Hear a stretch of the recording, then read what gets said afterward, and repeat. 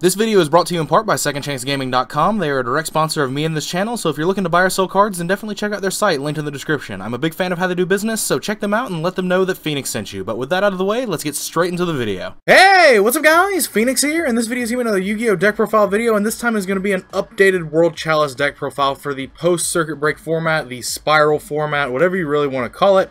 Uh, basically, I haven't put any World Chalice lists on my channel in a long time in terms of my own lists. It's been a month, if not over a month at this point. And, uh, and there's been a lot of like just theory changes that have changed in terms of how the deck functions, personal card choices that I've been, you know, slimming down on and, and boosting up in terms of different cards being run and all that sort of stuff. So I have people that constantly ask me like what they think that what I think that they should be playing as far as World Chalice goes, and it is a deck that I really enjoy. And if I'd been able to make it to YCS Dallas, I would have probably played this deck in the main event uh, because it's the one that I was the most comfortable with. I'd been testing spirals and I did have, you know, arrangements to play spirals, but if those had fallen through, I would have definitely defaulted back to this because it was the deck that I had the most outlandishly most amounts of experience with, essentially. Uh, and I'd kind of built it to play against Spiral and that format. So it was the it was the deck that I could have probably like felt the most comfortable entering the event with. But anyway, the deck list is 40 cards. Uh, it starts out with three Lee the World Chalice Fairy, as should be pretty standard. Uh, three World Legacy World Chalice. This is obviously like your best World Chalice monster in your deck by far, bar none. And then one World Chalice Guard Dragon and one chosen by the World Chalice. These are the only World Chalice monsters in my main deck. I'm only playing eight World Chalice monsters. Um, I just found that like a slim package worked best for me in terms of like with the other cards I'm playing and all that sort of stuff. And I didn't really see a need to like bump any of them up. Now, in future, when we get cards like Trigate and stuff like that, then obviously, like, you can change things around. I didn't feel like Bagooska was too important to the overall game plan, although it is a very good card that I did test. Ultimately, I just liked the, uh, the potential Cyber Dragon Infinity play a lot better, and Bagooska directly conflicts with that. I wanted all my boards to end with, like, potential negations for, like, evenly matched, or, like, the Clutch Raigeki or whatever. Uh, but so like I just I filled my deck with a bunch of other like consistency enabling cards and like just you know stunny cards and stuff like that, and then just you know slimmed down the World Chalice uh, number in my main deck to what I felt was a reasonable amount to still be playing World Chalice with. Uh, but carrying on, three the Agent of Creation Venus and then three Shine Ball. This is the literal best engine for this deck. Like one monster giving you four materials on board that also just happens to like go up into your uh, your link plays is obviously just really good for obvious reasons. Uh, and people try to contact me and is like, can you build a list that doesn't involve Venus? And my answer to them is no, because there's no reason you would have me play a deck. There's no reason I should build a deck to be objectively worse than its predecessor, because the only thing you could really replace Venus with is with cards like Rescue Rabbit that you have to play more vanillas to support anyway, so the argument of it cuts down vanillas in your deck is not a valid argument. But then also Rescue Rabbit is just such a card that gets ashed like nobody's business. Uh, and so this card, this card's strong against every hand trap except for uh, Ghost Ogre in the current format. So like uh, that works out fine. Gamma and Ghost Ogre are the only ones that really stop Venus, and so it's actually really good. This deck's actually really cool for that because it's it's capable of playing through most of the popular hand traps that deal with spirals because you can play under Droll, um, you can uh, you can play around Ash Blossom. There are only a couple of key interactions that the deck, interactions that the deck has that can be stopped by hand traps where your turn just outright ends, uh, but they're very few compared to other decks. So that's another reason why I probably would have played this deck at Dallas um, as a fallback had I not been able to get Spiral and had I gone to Dallas without my trip plans falling through. But anyway, Three copies of Blackwing Gofu the Vague Shadow. This card is obviously just an amazing extender. Uh, being able to start your turn with this card is obviously really good for obvious reasons. Uh, I don't understand uh, why people would actively want to play less of this card, because you could always just ditch it out of your hand with Lee if you have duplicates. Like, it makes all your hands that don't involve Venus really good, but then even Gofu plus Venus by itself isn't Ningirsu play to draw at least two cards. Uh, so like it just it allows you to play through hand traps, play through back row, and stuff like that. So it just seems seems well worth in my opinion. And then carrying on, we have three copies of Exodius, the Ultimate Forbidden Lord. This card is by far my favorite monster in the main deck outside of Venus.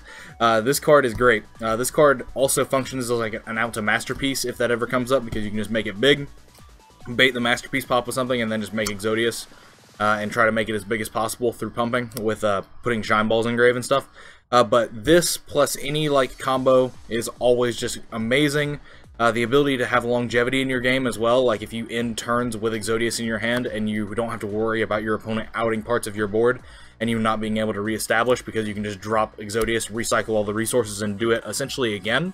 Uh, it's just a wonderful, it's a wonderful card. Um, with Emerald being gone, this is definitely something that I think is necessary in the deck, at, at least two. Um, it's a card that at three it can clump, but at the same time is that it's not a hard once per turn, so you can just keep special summoning them. At the worst case scenario, it's just a, card you can special summon by returning one card back to your deck, and then just having an extra monster on the board, which is also something this deck really kind of needs, is the ability to put monsters on the board. Like, if World Chalice ever got like a Photon Thrasher type card, uh, or like a Girgi Accelerator type card, I feel like that would fix a lot of the deck's core issues. Like a World Chalice named card like that would really do a lot. Uh, but anyway, uh, Lapis, uh, Lapis, Lazuli is uh, is the last actual like real monster in the deck. Uh, but then we move on to the hand traps, of which there are eight of them. There's one Maxi, there's three Ash Blossoms, there's two Ghost Ogres, and then two Droll and Lockbirds in the main deck. Now, I went with eight instead of ten, although you can go to ten. Uh, by playing like uh, two copies of like Ghost uh, Ghost Reaper and Winter Cherries. Although I don't really like that card for this deck, uh, because that requires you to have like two or three extra deck spaces to dedicate to playing like a double helix, like an ABC Dragon Buster, uh, and stuff like that. Whereas this deck's extra deck is actually quite tight. Um, but you could easily make it 10 by playing the third Droll and the third Ghost Ogre. Uh, instead of like two cards you'll see later in the list. But I wanted my deck to be literally like 30 engine cards and 10 non-engine cards, which are the uh, the hand the eight hand traps and then two twin twisters that I played in the main. But if I were to play this deck at Dallas, I would have more than likely swapped those two twin twisters for the third copy of Ogre and the third copy of Droll. Uh, I'm not playing Kaiju's in this list. Uh, the Kaiju cards just aren't really like that needed, nor are they really good at this point in juncture. Uh, they don't really help you going second anywhere near as much as these cards do against Spiral. Uh, and then also uh, going first, these are also just really good against, you know, the wide range of the field because you can just put up your board and hide behind these hand traps, especially since with hand traps, every time you activate them, if you're able to make Firewall Dragon, you can put them back into your hand so you can keep your hand trap game really strong against your opponent. But then also, um, you have uh, you have things that you have to factor in as well, like going second against Spiral. They could set rotation you, and that turns off the field spells in your deck. So it's just another reason why I just did not want to play Kaiju's. Um, I was completely fine with uh, I'm completely fine with Cyber Dragon Infinity uh, being the only like negation card in my deck that I can summon because it's actually just really easy to summon that card. With almost any hand that lets you draw three off Ningirsu, you are also able to make Cyber Dragon Infinity, uh, which is actually just something that I found in uh, weeks of testing with this deck. But uh, I could easily see myself bumping up more hand traps just to deal with spirals and stuff like that. Uh, definitely makes the deck a bit easier to go second with uh, in a field full of spirals because you know you you ash their double helix or you ogre their double helix or you droll them or whatever. Um, and like their their turn structure becomes very like diminished over what it was beforehand. And also like I've said previously like this deck doesn't lose to these hand traps nearly as much as the other deck like spirals do, uh, does. Um, the only place that Ghost Ogre really absolutely hurts you and kills you is on like things like your Auram or your um, or your Venus uh, but even then, depending on what your hand was, you can play out of it. Um, this deck isn't nearly as fragile as Spirals in terms of one hand trap stopping like a huge section of combos.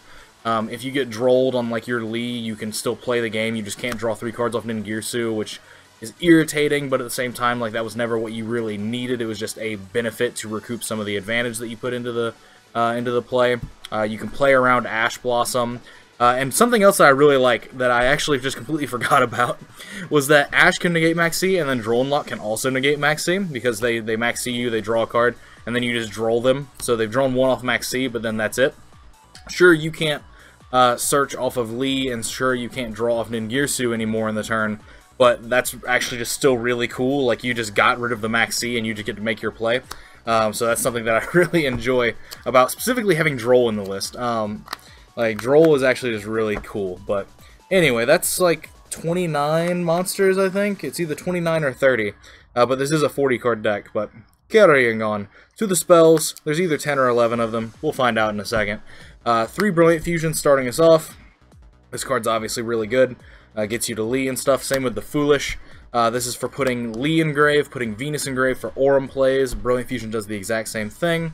Uh, but also, uh, Foolish is really cool for this particular deck as well, because if you have Lee, if you have a Venus play, if you have a Lee play, whatever, and you have the uh, and you have the Foolish, you can Foolish a hand trap and then add it back to your hand off Firewall uh, mid combo. So you can like Foolish the Maxi, add it to your hand, or like after you Ningirsu draw and see what three cards you're drawing, or two or two or three cards you draw, you can play Foolish, send whatever hand trap you didn't draw, so you have multiples in hand and add it with Firewall. Uh, so like Foolish has a lot of utility there as well. I'm playing two copies of Transmodify. Uh, this card is a very, very high-risk, high-reward card. Uh, your opponent going first has a 33.7-ish percent chance of having Ash Blossom in their hand, and this card just is literally like the highest risk, high reward card um, that I've ever seen. Like if you open Brilliant Fusion or Lee or Foolish and Transmodify, and you're using Transmodify to go into your Venus, um, if they ash you there, then you do actually just lose, depending on what the rest of your hand was. Um, more times than not, it will just be such a huge hit to your uh, to your play. Uh, but I tried playing the deck without these cards, and it just it it was constantly missed. So I decided to put it back in. Uh, the only thing these would be in place of this would be like machine dupe, but like those don't really get you out of the early game um, nearly as well as like Transmodify does because Lee like Lee is your worst summon in the early game, which is weird considering it's a Stratos. But if your play line, literally, if the first thing you're doing every turn is to normal summon Lee and add a card, that actually just sucks in this deck because this deck has no way to special summon outside of um, outside of other cards like Venus or Exodius or Gofu. so like Transmodify really just helps those situations where it just makes your uh, starting plays really uh, really more streamlined and simplified. And so I have to put my opponent on better have it, better have the Ash, or else uh, I'm going to do Venus and uh, World Legacy, World Chalice things. So it's a it's a card that I feel is justifiable to run, even though I'm not really the biggest fan of it. I miss it every time it's not there. But anyway, uh, for one of's Soul Charge, uh, World Legacy's Heart, and I'm playing the one E-Telly. I'm playing E-Telly with one Chosen in my deck, uh, which is actually just fine. Um, because there's three Exodius, uh, if you ever get to Chosen, you just summon it out of your hand mid-combo and you put it in your grave and then summon Exodius. It goes back into your deck and then you have the E-Tele. Um, like, it's actually just perfectly fine. This is just another one of those cards that, like, special summons a card, and those are in real high demand in this deck. Like, God. Um, so it's just one of those cards that, it was just like an, it was an auto-inclusion of just, like, even if I'm only playing one Chosen, I do not care if I draw them together, because at the end of the day, I could do Exodius plays, or I will 100% just like E-Telly a Chosen out of my hand, if that's what makes the play happen. I'll take that minus to get to the Ningirsu play where I get those cards back. I'll take that. I'm not too worried about that. Soul Charge is obviously fine because it's Soul Charge. Um, if there's any card that I'm considering bumping up into more copies, it's probably, uh, it's probably, uh, like, this card, Twin Twister. Um, th these are the last two cards in my deck, uh, the Twin Twisters. Twin Twister is good, um, going first and second, but I don't think it's necessarily better than the hand traps. Uh, so, like, if I were going to swap the, I kind of want the third copy of this in my deck. I definitely don't want these to be evenly matched, uh, because evenly matched is just kind of like, ugh. Um, this can actually just you know do a lot for you, especially considering the fact that you could discard like a Shine Ball or Chosen or uh, Guard Dragon or whatever, and those like can be gotten back off of like Brilliant Fusion plays or Guard Dragon does things in Grave, um, stuff like that. Um, so it's it's not the discard's never a problem with this card. Um, the thing is, is like whenever I draw it, I usually want it to be more. if, that, if that doesn't sound strange, I don't know what does. Um, but at the same time, like I'm fine with it being a two. Kind of weird. I don't know. But uh, these are the cards that I would possibly swap for like other hand traps, like the third Droll and third uh, third Ghost Ogre, if I were ever to cut them from my list. I definitely wouldn't cut them for more vanillas. Uh, that's for damn sure. Um, there's no real reason to be uh, to be playing more vanillas in this deck uh, than absolutely bare minimum, and that is, you know, your Lazuli, your Garnet, and then the the one chosen and the three Shine Balls. Uh, so I'm, I'm liking the way the deck functions. That you, in theory, get rewarded for playing more World Chalice Vanillas because of the way the Link monsters work. But at the same time, those things clump your hands and bricks. I mean, it's it's weird. It's weird and wild and whatever. But anyway, For the extra deck, these is, this is obviously 15 cards. If it's not 15 cards, I'm doing it wrong. Uh, but three copies of Imduk because this comes up a lot more um, than you think it does, especially in uh, in the combos that involve like Gofu and Venus. Um, one Link Spider. I wish I had room for a second one, and the second one will probably be coming in uh, once we get Trigate Wizard to replace the Cyber Dragon Infinity. Uh, but as of right now, there's only space for one because the uh, the third Imduk comes up a lot more than the second Link Spider does. So uh, so that's that's why that's uh, that's why that's a case. Uh, but then one Proxy Dragon, two Ebes, and one Auram are the Link 2s. For the Link 3s, there's just the one in Ningirsu and the one Gaia Saber, the Lightning Shadow. Uh, I don't play Decode Talker. I play this card specifically so that like I can make it pointing down at my firewall or whatever, and then the one Link Spider goes in the other uh, extra monster zone. Because like you, you need if you're not playing two Link Spiders, you have to be playing this card in order to extra link your opponent, or else it's literally impossible outside of some weird bullshit like Firewall Dragon, Firewall Dragon, Ebe, Ningirsu that you've summoned a second time in the turn but didn't get to draw for, and then Link Spider. like it's it's weird things like that. Uh, but then uh, two Firewall Dragons. Uh, this card's basically irreplaceable in the deck because this is the entire point of your deck is to get to Ningirsu um, and then make firewalls and do all that sort of stuff. So uh, you you kind of need this card to play, and it sucks that it's expensive as it is. But I mean, hey, whatever uh, Yu-Gi-Oh, right? I'm really tired. Uh, but anyway, one copy of Cyber Dragon Nova and one copy of Cyber Dragon Infinity. These are for all of the plays with uh, with World Legacy World Chalice. Um, I was playing Machine Dupe in my original build where I started testing these cards, but then I started phasing Machine Dupe out because I, I, I started realizing that, I may have said this earlier in the video, but almost every single hand that involves um, that involves an Ningirsu play to draw three cards while using World Legacy World Chalice, almost every single one of those plays can still get you to Cyber Dragon Infinity because of how Firewall Dragon interacts with the rest of this deck. Um, so like it just it makes it really really easy for you to do. And so being able to summon this from your extra deck next to all your Link monsters, uh, just to be a choice negation card against like a Raigeki or against an evenly matched or whatever, uh, is actually just huge. Um, so like I really like Cyber Dragon Infinity, but I'm going to be a lot happier when I get to replace this with uh, with Trigate Wizard, uh, because Trigate Wizard essentially does the exact same thing, and it takes arguably the same amount of resources. Um, so there's that to uh, to consider. But last card in the extra deck is the Gem-Knight Seraphinite, so that I can even play Brilliant Fusion, so that I can keep searching Lee and uh, and keep searching the Agent of Creation Venus. But so anyway, that is the deck. That is the deck in its entirety as I'm currently playing it. Like I said, if I had been able to go to Dallas, um, this is actually just more than likely the deck I would have played for the main event. I tested Spirals a lot, but I really just don't like that deck uh, objectively. Like, I don't like how the deck plays. I don't like I don't like how like the mirror match handles. And so I figured that I probably would have just played this deck because it's a lot uh, it's a lot less fragile. It takes a lot more combo pieces to get started than a deck like Spiral does.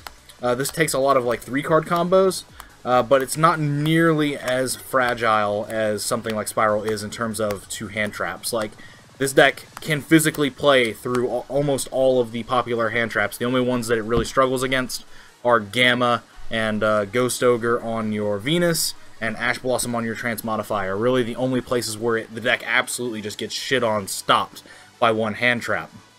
Uh, but uh, but like other than that, like Playing through Droll is easy. Playing uh, playing around Ash Blossom with all your prominent effects, like your Ningirsu and your World Legacy World Chalice, those are all easy. Like it's it's very it's very interesting how this deck functions as a Link deck in comparison to Spirals. But anyway, that's going to be it for this video. Let me know what your thoughts are on the deck and all that sort of stuff in the comments down below. I'm super curious of your opinions and all that sort of whatnot. Like I said, Kaiju's the Kaiju Field spell just sucks because of set rotation giving you a card you can't play and then also like it just takes up too much of the deck space. They're bricks and all that sort of stuff. Uh, they don't really help you going second against Spiral that much because I mean like you could Kaiju a sleeper, neat. They could still have Firewall Dragons and all that sort of stuff. I'd rather just play things like Droll and Ogre to prevent them from making those plays. So that's all stuff that has to be considered and taken into account for. But anyway, like I've already said, Thanks for watching, and let me know your thoughts and opinions are in the comments down below. As always, like, comment, subscribe to all the nonsense you usually do. Links, as always, are in the description to my Facebook fan page as well as my personal Patreon page. If you like the videos I've been making and want to support my ability to make them, then Patreon is the best way to do so. As well as, if you're interested in getting into my private Discord server with me and a bunch of other people where we chat on a daily basis, or if you're interested in monthly giveaways for amounts of Yu-Gi-Oh! product, then definitely go check out the reward tiers over on the Patreon. And any support you'd like to give me or the channel in advance, you'd have my thanks for because it just helps out a ton, like I've said many times in the past. But other than that, as I've already said, thanks for watching, thanks for your time, and as usual, guys, take care. I'll see you in the next video. But anyway, now the video's over, I'd like to give special thanks to Travis Miller, Iradium, Jay Garcia, Yuki Phoenix, Troy Perkins, and Eric Gertson, as well as everybody else that is currently supporting me on Patreon this month. You guys help out a lot more than you may know, you have my eternal gratitude, and you guys are forever awesome. Thank you so much for the support.